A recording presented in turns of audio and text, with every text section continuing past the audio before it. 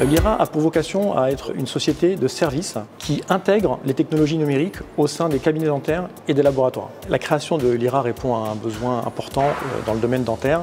C'est l'évolution technologique qui fait qu'aujourd'hui toute l'industrie dentaire est en train de se transformer. L'offre LIRA euh, a plusieurs composantes. La première, c'est la mise à disposition d'un scanner intraoral qui permet au dentiste de prendre l'empreinte numérique dans la bouche du patient, ensuite d'envoyer ce fichier à un logiciel qui permet de faire le design de la couronne, et enfin de pouvoir usiner cette couronne au cabinet ou au sein du laboratoire. Aujourd'hui, la 3D n'est pas utilisée pour la fabrication des couronnes ou des bridges pour l'instant. Aujourd'hui, ces couronnes et ces bridges sont usinés dans des blocs de céramique. En revanche, euh, l'imprimante 3D est déjà utilisée pour imprimer des modèles.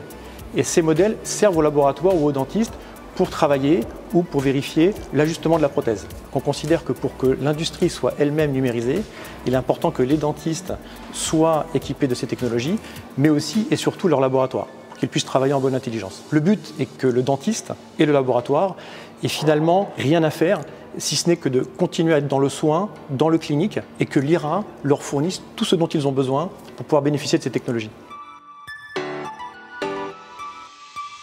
Les données médicales, effectivement, sont des données extrêmement sensibles. Et donc, il y a obligation pour une société comme la nôtre de traiter toutes ces données en HDS, c'est-à-dire hébergement de données de santé. Donc, ce sont des data centers qui sont spécialisés et qui font en sorte que les données sont anonymisées. Et nous sommes fiers chez l'IRA d'être un des premiers à avoir fait ce, ce pas. Demain, le cabinet dentaire et le laboratoire seront totalement numériques.